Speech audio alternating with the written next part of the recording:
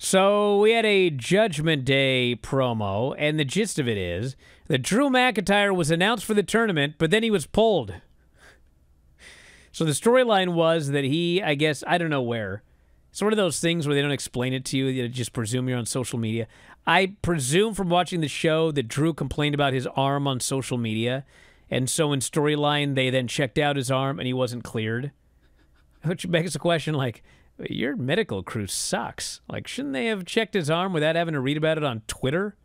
But anyway, he's pulled. Finn thinks that that means he's got a, a buy, but then he's told, no, actually, you don't have a buy. Uh, you will be facing Jey Uso. Which, of course, begs the question why Jey Uso wasn't in the King of the Ring tournament, but he is now. Well, you know. And uh, this match was very good. And I was told that uh, Jey Uso was the most over guy on the show, and he got his big win. And I do think that there is a strong chance that uh, Jey Uso becomes the King of the Ring.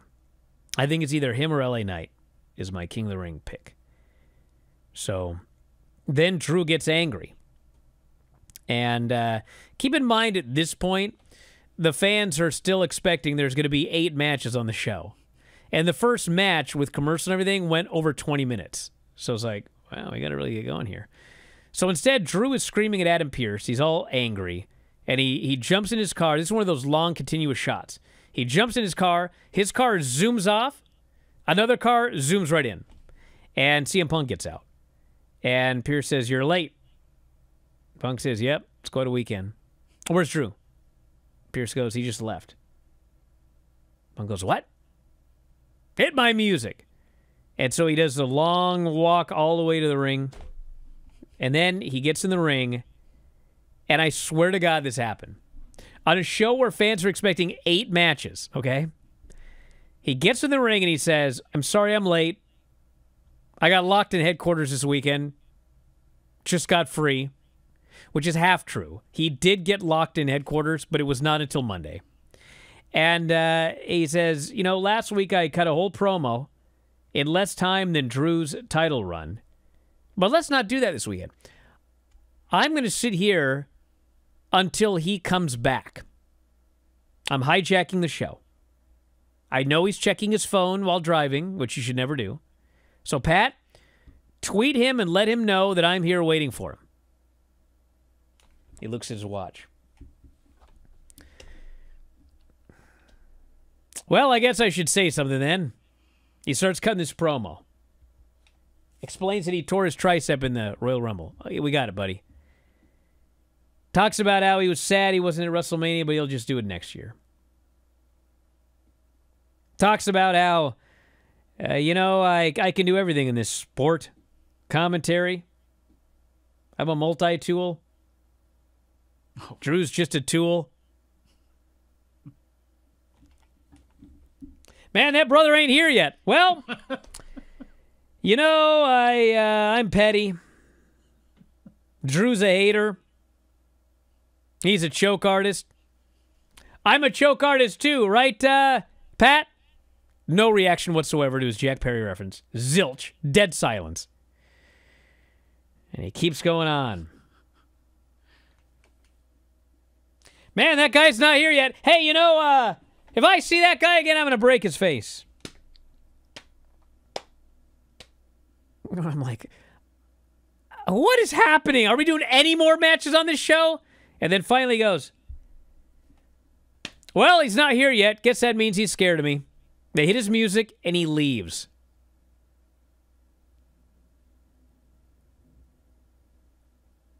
Has there ever been a worse CM Punk segment? I mean, oh my God. This was bad. Brutal. How long did it go for? It felt like an hour. Someone's going to go, it was actually only three minutes.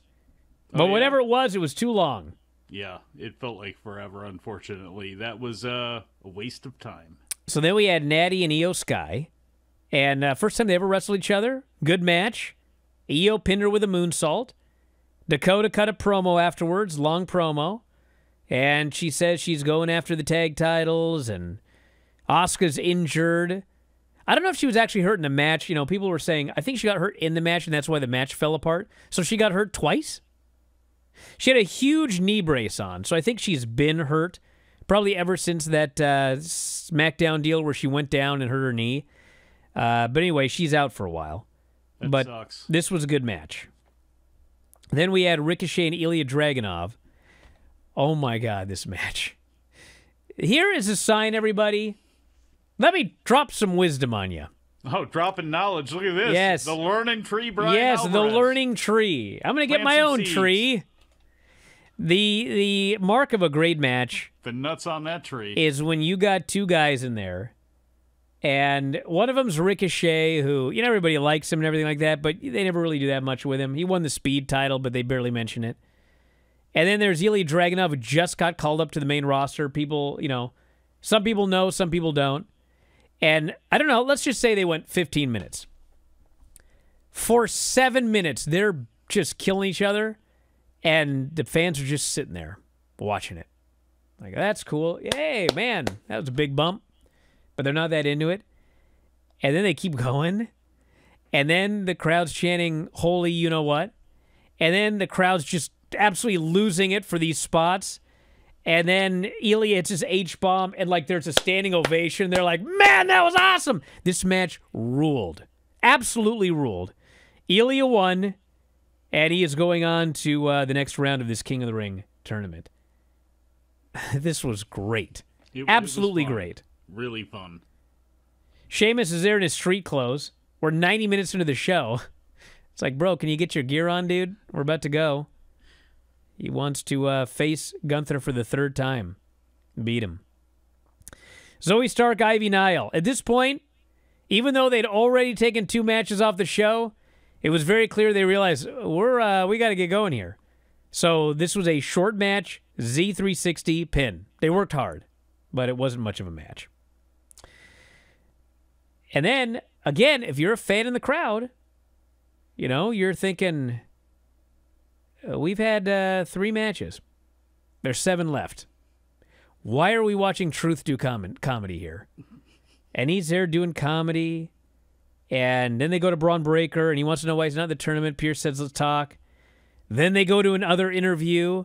It's Finn, JD, and Priest and uh, Dom tries to bring Carlito in, and Priest. They they go back a year. Like it doesn't matter if they're both heels. Carlito gets brought in. Priest goes, "Do not bring that guy in here." I had my biggest moment ever at uh, Porter, and this guy screwed me. We will never be friends. Get him out of here. Dom has to get him out of there.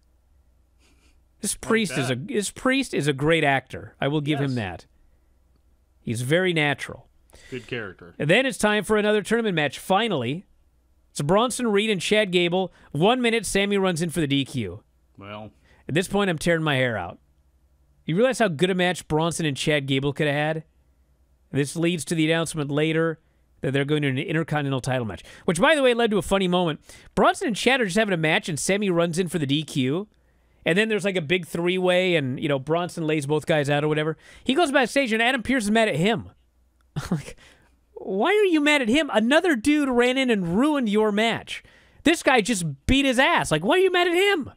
But he was. at least at least it didn't go 12 minutes before that happened. That would have pissed me off. It might have, but you know what? I would have liked to have seen 12 minutes with Bronson and Chad Gable. I guess. And then we had this Becky segment, which was actually worse than the CM Punk segment. I recapped this earlier. I will not do it again. But uh, it led to Liv coming out. And by the time Liv came out, she was getting what chance? Because the fans were so sick of this and wondering, how are we going to get four more matches? And you're sitting here talking about a hat with one hour left on the show.